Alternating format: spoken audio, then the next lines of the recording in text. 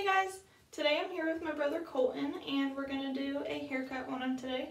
It's been about three months since Colton's had a haircut and today we're going to start with a four guard and we're going to go down to a three on the sides and he likes to keep the top longer so we're going to scissor cut the top. So let's get started. I am going to start with my four guard on the sides here.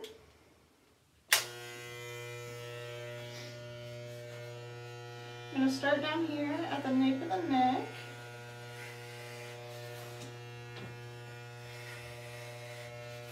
I'm going to use my comb to manipulate that hair down since it's super, super long. Just to keep everything nice and tidy.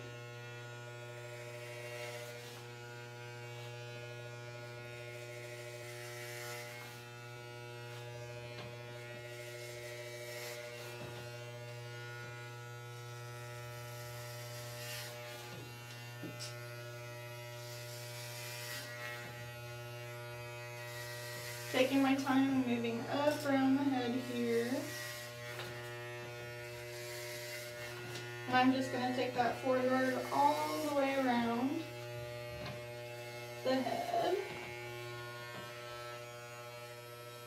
All the way up to my parietal ridge and making sure I'm flicking my wrist right at that parietal ridge where I'm going to start to maintain that length.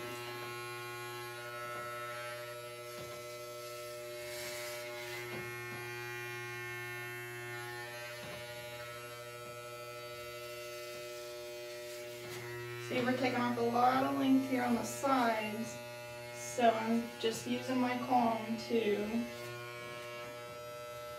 keep the hair nice and tidy as I'm going. And the ear is extremely flexible, so don't be afraid to get in there and kind of move it around, manipulate it. And you can even ask your guest to, to um, move it and hold it down for you if you're too afraid to. So we're gonna go all the way up here with our four guard.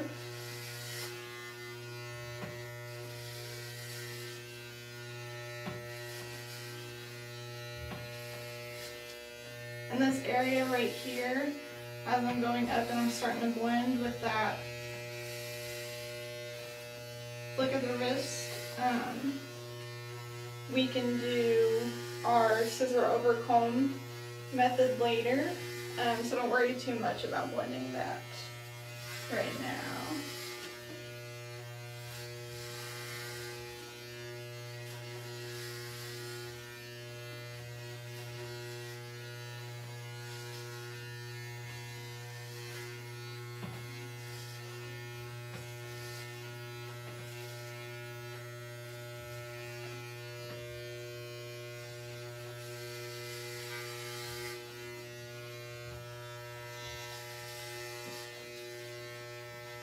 I'm just gonna quickly go over this side of the head since you guys can't see me over here.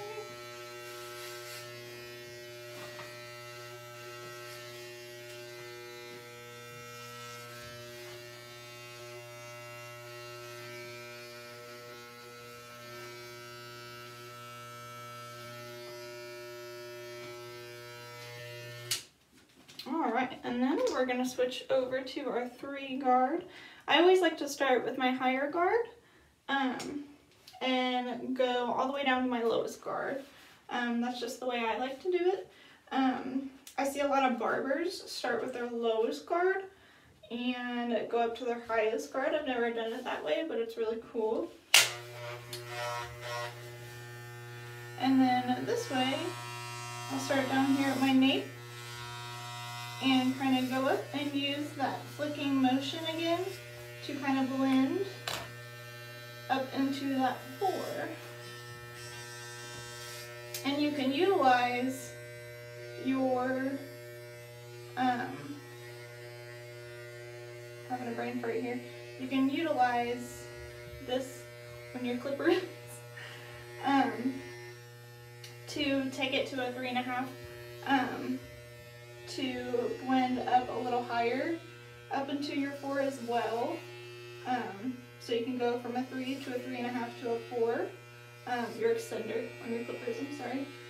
And that'll give you a really nice seamless blend. So you'll just transition all the way up into your four there.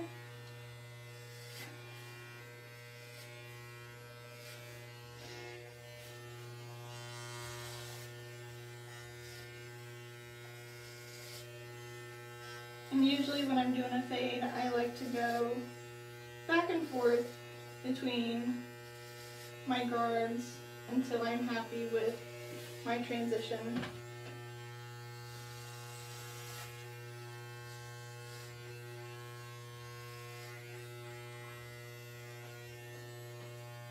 So I'm just taking that three all along my nape area.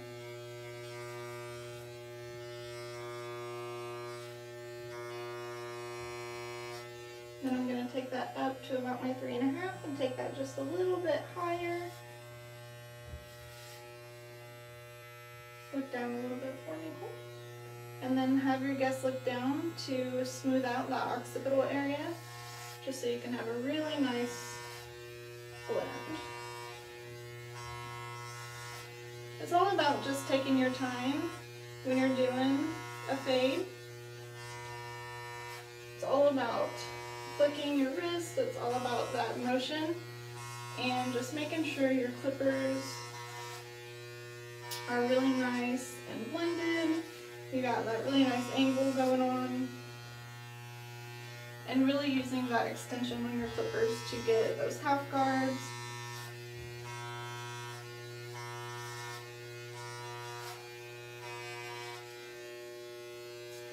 Alright, so once I'm happy with my nape area, I'm going to go over to the sides.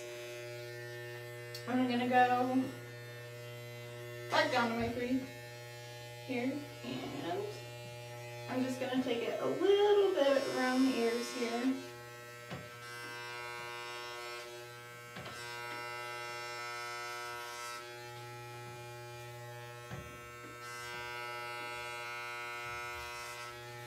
And since Colton is a younger kid, he doesn't really have any sparse areas, but some guys, like when I cut my dad's hair, um, he is a little more sparse right here around his ears. So you really have to pay attention to if guys have any sparse areas around here where they get a little thinner. Um, you want to watch for any patches where they get thinner because you really want to, you don't want to take them any like down to like a one if they're fade goes that low. You don't want to take their one anywhere near their ear area or anything like that because I know for my dad's fade I have to tailor it very specific around his ear area. I'll take his one down here because he likes it really close to his nape but not around here because he gets really thin around his ear and he'll point it out to me. Um, that his fade gets really, really close to his skin right here, but it's the same one that I do down here. But if I take the one up here, it gets it gets really close to the skin just because you there's less hair there, so it looks like it's a shorter guard, you know. So just kind of pay attention to the density of your guest's hair um, when you are doing a fade like that.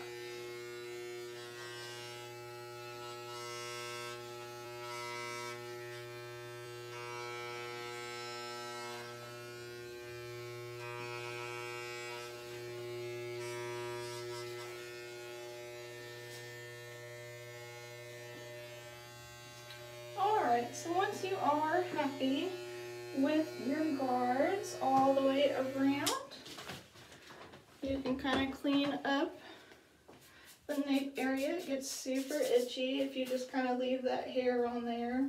So I like to just clean up around the ears and everything. And this is when you can ask your guests if they would like a shampoo or you can spray them down. I usually like to shampoo at this point.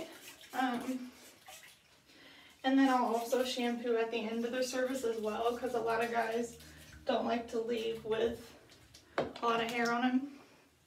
Uh, so I'll usually do two shampoos just because. Um, but we are going to go ahead and wet Colton down now. Sorry, I'm drenching you.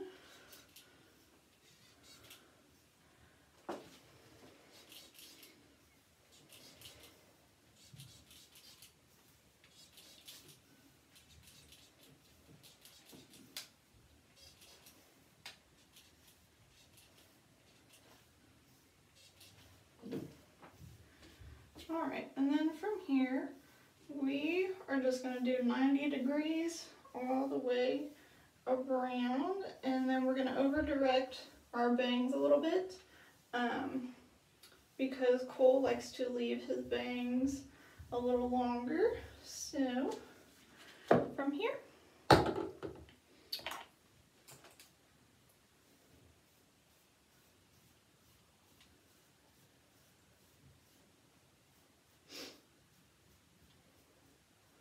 Alright, so I like to let their natural whirl do its thing.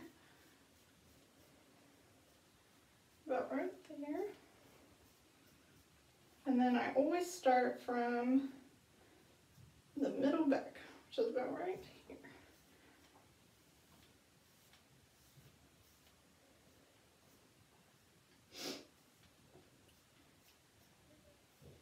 Alright, so from right here, I'm going to take a vertical section right back here and I'm going to connect this with the fade that I just did. So I'm going to take this vertically straight out and I'm going to connect this with my fade right here. And then that's going to be my traveling guide all the way around the head. So I'll bring it this way so you can see.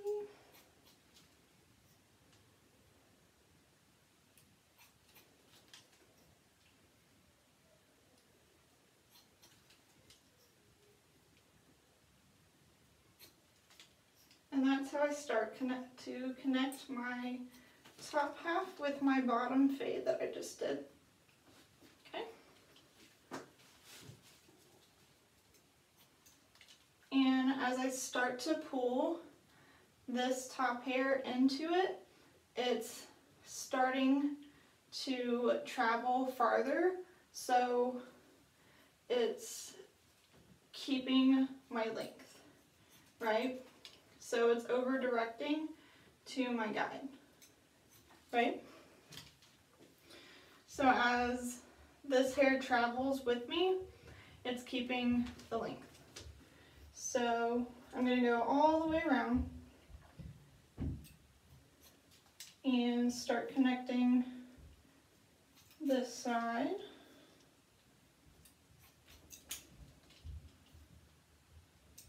Just a little bit over here.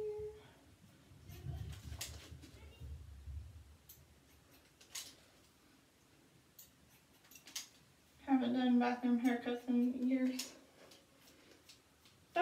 So got a little bit of my back started here. And then what about from here to here? So I've got this long disconnection and I've got here. So to get this started, what I'm gonna do is just connect these two from here. So I'm gonna pull this up and I'm gonna over direct this back to conserve that length. So what I'm gonna do here is just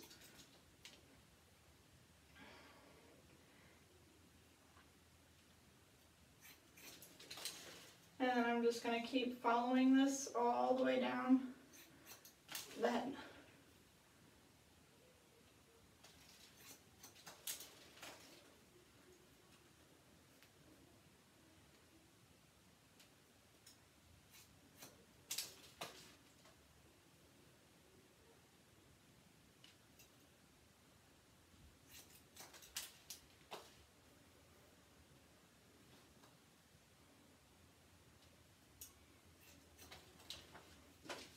Okay, now I have this and I have this. Now I can just connect it all the way across, right? So once I have this guide and this guide and I have my middle guide,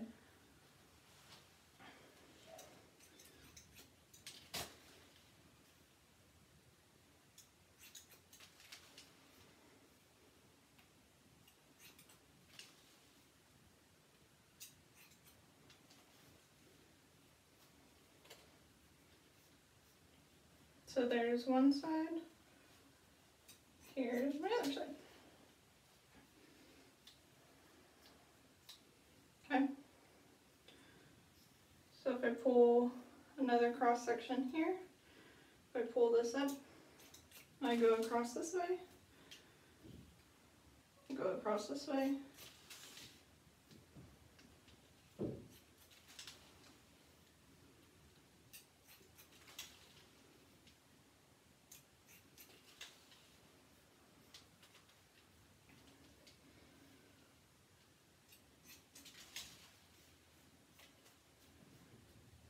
There we go.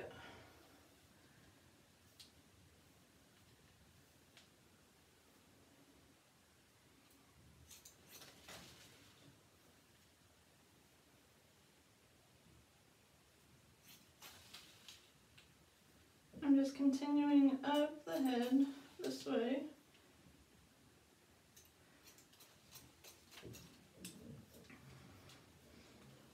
And once I start getting into the bangs area is when I'm going to start over directing everything back to conserve my length.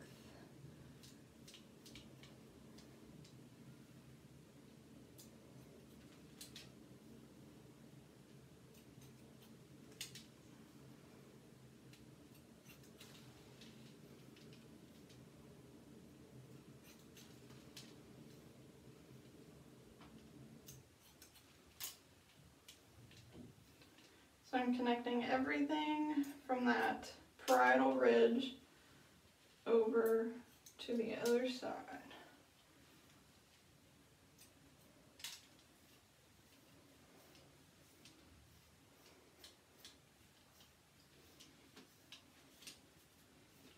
Okay.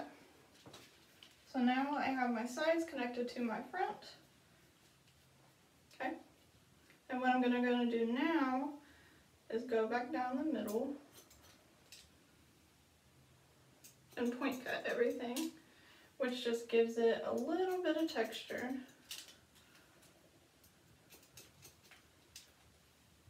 And movement because Colton has a lot of hair, but it's fine. So we like to give it a little bit of texture.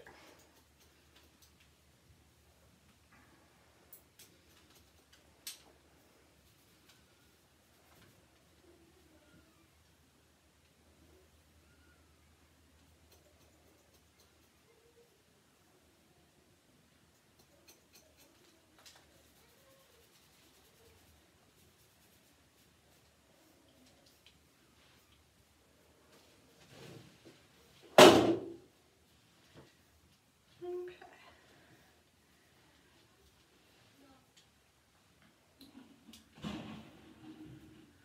And then from there, I like to pull the bangs out. And then just make sure everything's nice and straight first. But then I like to texturize them because you don't like your bangs to be nice and straight across usually if you're looking for a more masculine haircut. So just kind of point cut these and texturize them a little bit.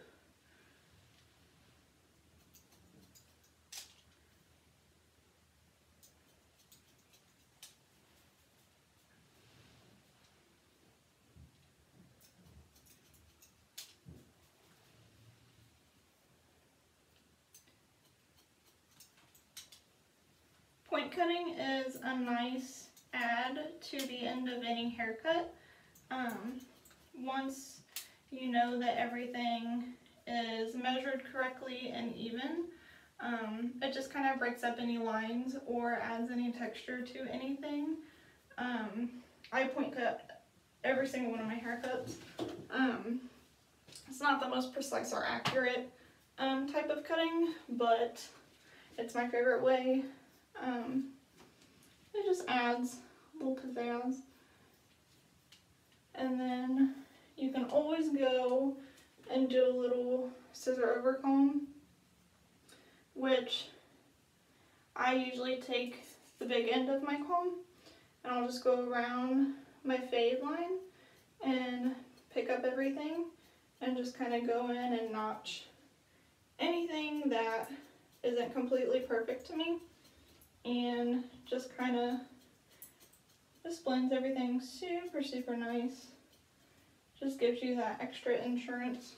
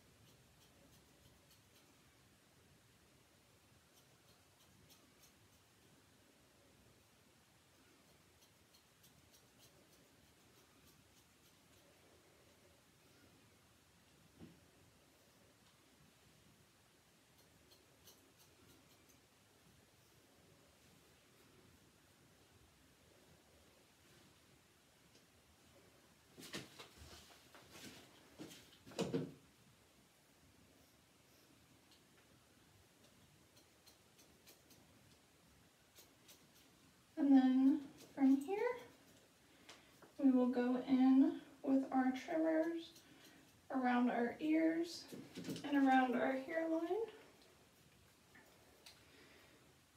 But, yep,